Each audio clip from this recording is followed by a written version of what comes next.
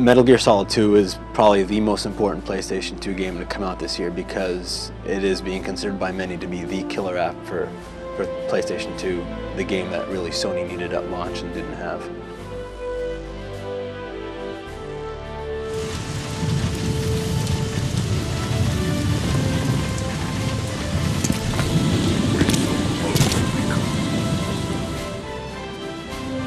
I think this is the, easily the best looking PlayStation 2 game. It just really illustrates the graphic capabilities of PlayStation 2 and the talent at, at Konami.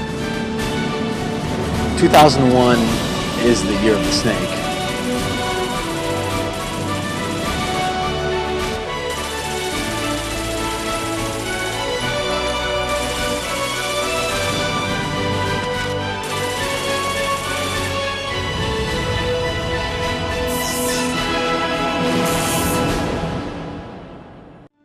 Metal Gear Solid 2 is the sequel, of course, to the acclaimed 1998 PlayStation game Metal Gear Solid.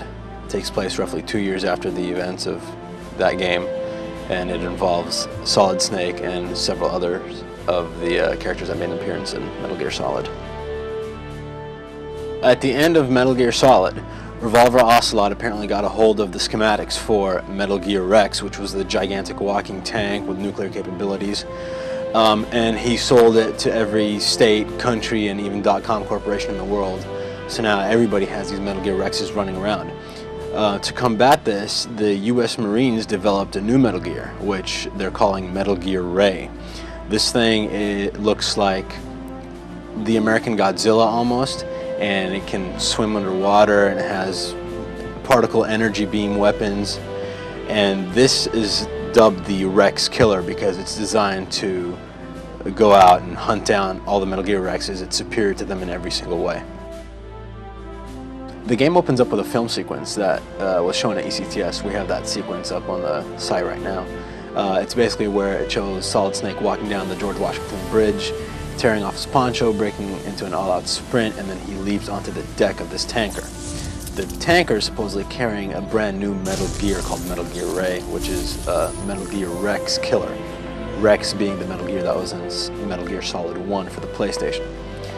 Um, that movie sequence lasts about 10 minutes and it involves Snake talking to Otacon, who is also from Metal Gear Solid. Otacon briefs him on the situation, tells him he needs to find out where this tanker is headed and find out the operational status of Metal Gear Ray. In the middle of their conversation, however, um, Snake but this is some, some camouflaged person behind him. In a matter of seconds, the camouflaged soldier slits the throat of the Marine and he calls out to Otacon, asks him what's going on. Takes out his binoculars again, looks around and notices happening throughout the ship. Uh, it flips again to a cinema sequence showing two helicopters unloading all these soldiers onto the ship and they methodically walk throughout the hallways and throughout the decks, executing all the soldiers very professionally in a matter of seconds. And Snake turns to Otacon and he goes, the ship's theirs now. ロシア人間違いないジャーヘッドにあんな挑発はいない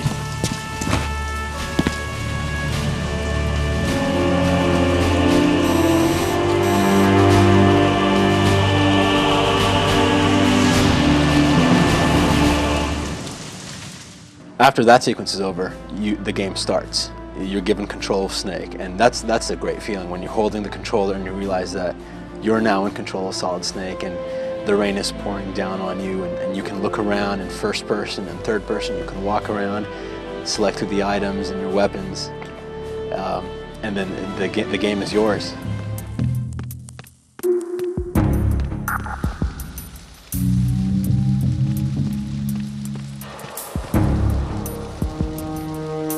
The demo is basically uh, Snake jumping onto the ship, uh, fighting the soldiers and, on the various decks of the ship, and then it ends with a with a fight with Olga, who's a Russian, supposedly Spetsnaz.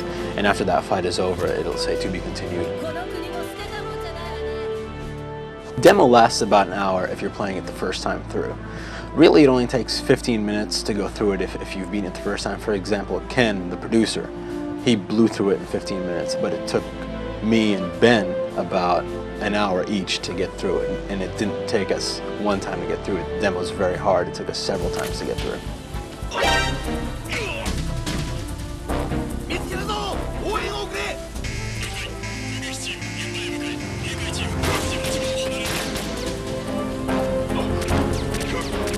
The gameplay is very similar to Metal Gear Solid. The camera is um, is set at a third-person perspective. It's most of the time it's overhead snake, although there are some Resident Evil style angles where the camera is ahead of you, off to the three-quarter angle. Um, but in this game, um, Konami has made use of the first-person camera a lot. You still can't move using first-person mode, but you can aim, you can shimmy across bars, across ledges, um, and you can shoot. In fact, most of your shooting you'll find is done in the first-person mode because you can fire much faster and you can aim much better.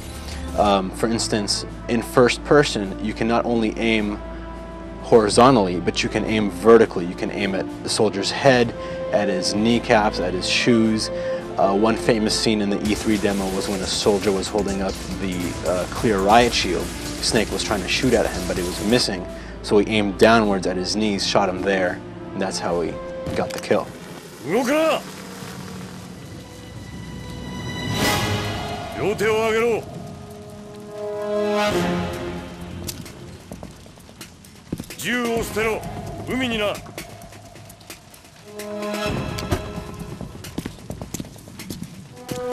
Snake starts out the game with nothing but a tranquilizer gun. It's a modified version of a Beretta M92F, and it has to be reloaded after each shot. Now the nice thing about this gun is that the drug in the tranquilizer takes effect at different speeds depending on what part of the body you shoot. So if you shoot someone in the leg, it'll take a while for that drug to take effect. Whereas if you shoot someone in the neck or in the head or even in the chest, it'll be instantaneous. It'll drop them right away.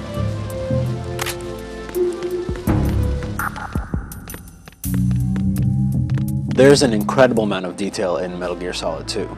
For example, in the cruise lounge, you'll find a wet bar. And in this wet bar, you know, there are alcohol bottles hanging in the back, there are glasses, and then there's this bucket of ice sitting on the bar. You can shoot this bucket of ice and it'll spill forward and all the ice will get scattered on the bar. Now, if you look at the ice long enough, if you just sit there and stare, you'll see it to start to melt. And if that isn't detailed enough, the ice cubes that are alone will melt faster than the ice cubes that are stuck together. Right here, uh, as you can tell, he's in the cruise lounge and he is sh- just shooting up a magazine rack. The magazines are, every time they're hit, they're being hit by a bullet, are getting shred into smaller and smaller pieces.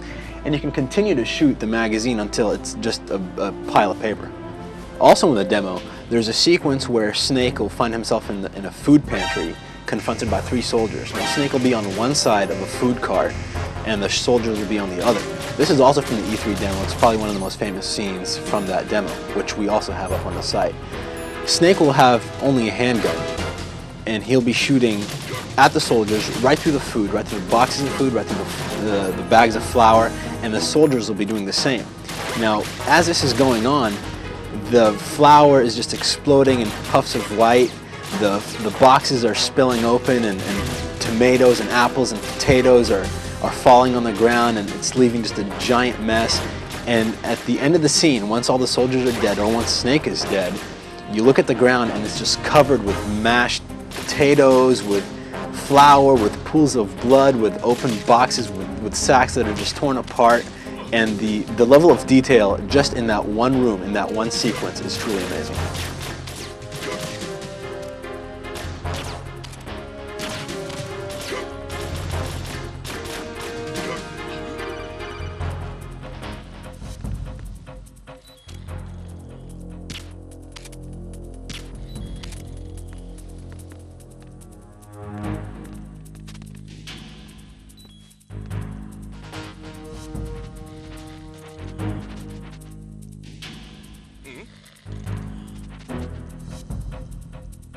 The game is remarkably similar to Metal Gear Solid in, in the control aspect. You have your dual analog sticks that control his movement. Um, if you press it to the extreme, he runs. If you gradually nudge it, Snake will walk. Um, you have your items menu on the left-hand side, your weapons menu on the right-hand side. He can duck, crawl, go into first-person mode. He has an action key that, depending on what kind of weapon you have equipped, will punch or, or fire a gun. And he has his patented strangle key.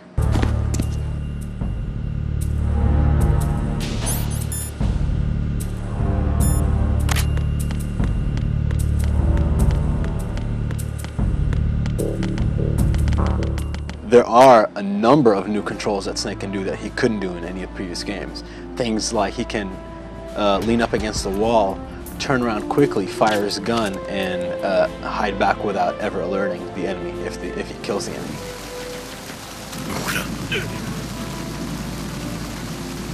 Konami really addressed the AI issue in Metal Gear Solid 2. A lot of people who played Metal Gear Solid 1 were upset that you can shoot a guard in the back, run away, and 30 seconds later the guard will just forget about you. Uh, in Metal Gear Solid 2, the AI is, is a lot more complex.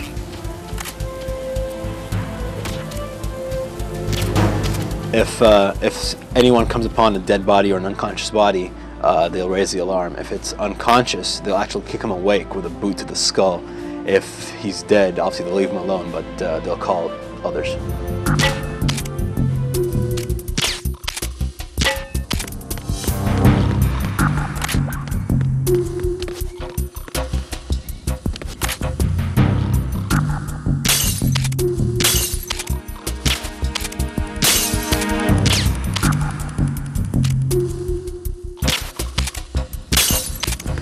Metal Gear Solid 2, the radar is also improved. Um, like the first one, if you're spotted by an enemy, it goes into alert mode and it becomes useless. Alert mode lasts for about 5 seconds, and if you manage to avoid the soldiers for that length of time, the radar will drop into what's called evasion mode. In this mode, the, the soldiers are still actively hunting you down for about 10 to 15 seconds. Now again, if you manage to stay hidden for 15 seconds, uh, the radar will drop into what's being called a caution mode. Now, caution mode is basically uh, like normal, like a normal radar, but the AI of the soldiers is still at a heightened state and their patrol paths are different because they know something's up. They either saw a dead body or they're still trying to find you. And this mode lasts a long time, between 30 to 60 seconds. Um, after that timer's over, then you get back to the normal radar mode.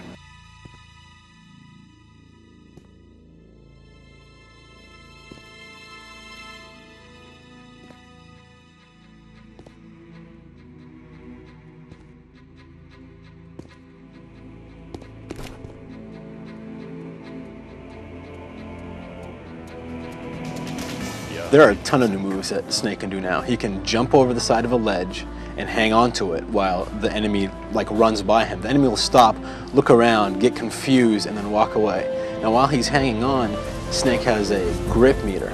If that grip meter reaches zero, he'll drop. So you can't hang for forever, but you can shimmy to the side and you can jump back up. And if you jump back over a ledge, it'll scare the soldier momentarily which will give Snake time to either take him out or run away. Snake can also pick up bodies because unlike Metal Gear Solid, the bodies in Metal Gear Solid 2 don't disappear. So if you kill a soldier, he's going to stay there and he's going to bleed on the ground forever until someone comes and finds him. So a new element that Konami added into the game is the ability to pick soldiers up or drag them around and uh, you can either stuff them in closets or you can even throw them off the side of the ship. There's another new gameplay convention in Metal Gear Solid 2. Now, if you remember in Metal Gear Solid, Snake could take his gun or just his fist and bang it on the wall to get someone's attention. Now, in Metal Gear Solid 2, when Snake runs out of ammo, he can actually take one of his clips for every 12 shots and throw it in the general direction of a soldier. That'll distract the enemy and give Snake enough time to either run away or kill him. Another cool thing about the game is uh, the use of shadows in Metal Gear Solid 2. They're not just for, for looks or for the pretty graphics. Um, there's a scene where Snake is walking down a corridor and it'll cut to a movie scene that prompts Snake to look at a, at a shadow of a soldier hiding behind a corner. You can't see the, you can't see the soldier, but you can see his shadow. Uh, these shadows play a very important role in the game because you can use them to spot soldiers and vice versa, soldiers can use them to spot you even if you're hiding. Uh, one of the new moves Snake has in Metal Gear Solid 2 is the ability to take someone hostage. Now this is similar to the chokehold he had in Metal Gear Solid, but if there are other soldiers around him, they'll hesitate to shoot because they'll hit their comrade. And Snake can have someone in that chokehold use him as a human shield and walk away to seek cover. An interesting part of Metal Gear Solid 2 is that if Snake is shot too much, he will bleed. When he is shot more than one time, his life bar will turn yellow, and every five seconds or so, a certain amount of his health will deplete and will continue to do so unless he do, does something about this. Now, in the game, there are bandages where if you're bleeding, you can just use them like you would any other item and it'll stop the bleeding, or you can just crouch or crawl, in effect, putting pressure on that wound.